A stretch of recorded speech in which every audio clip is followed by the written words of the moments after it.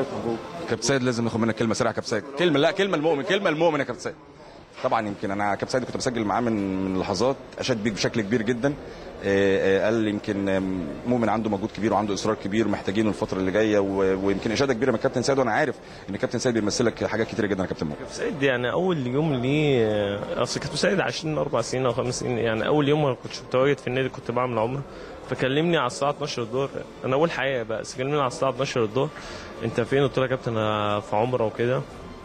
قال لي طب خلاص أول ما ترجع أنا عايزك اكلم على الدور رجعت يا كنت راجع يوم السبت بالظبط رجعت. آه، بس رجعت متأخر يعني وكان عندها تمرين الصبح. فقابلته في النادي فقال لي أنت استحالة كنا هتمشي من النادي أنت راجل أنا محتاجه راجل آه، عارفه كويس كشخصية النادي الأهلي. يعني كابتن سيد تربيتنا على البيت علاقة كويسة. حتى بكابتن يوسف كابتن يوسف مسك مدير فني يعني الراجل كان عامل لي برنامج أسبوعين تمرين الصبح وبعد الظهر ساعدني بشكل كويس إن أنا أظهر. الفترة اللي فاتت كنت آه، ما أعرفش كان إيه السبب إن أنا بطلع بره أو إن أنا ما بخشش وان أنا ما بشاركش.